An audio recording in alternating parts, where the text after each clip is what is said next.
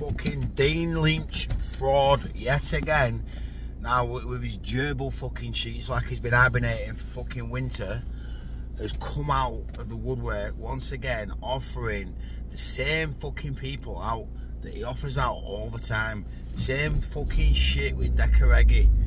Right? And saying the same shit all the time, I'm a fighting man. You're not a fighting man at all, lad. You're a fucking waster. Right? Danny Christie couldn't have said it better when he said about you the other day. You got caught out at fucking doing a live asking the person to answer ask you the questions that you'd sent him just shows Dean Lynch fraud once again. The fraud that pulled out of the fight with me, that left me, out, you know, nearly hanging dry till someone else stepped in. The fraud that fucking says, like I said, I've already said, says he's a fighting man. He ain't no fighting man at all. You got fucking saved against Decker the first time, and then they called it a draw. How the fuck was that a draw? Eh? How, how was that a draw? You're a fucking idiot, mate. Why don't you fight someone real?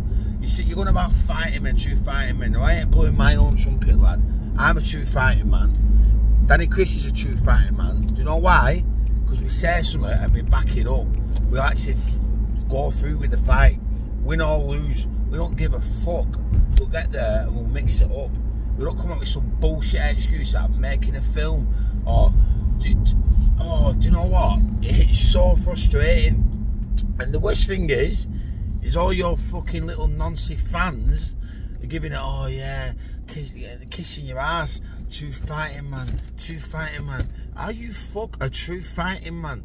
Anyone who believes your bullshit's an absolute muppet. Just do the right thing.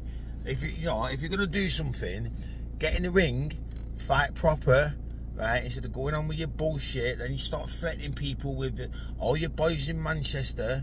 All your boys in Manchester, you're a fucking joke in Manchester, lad. Right? Absolute joke. Do something proper.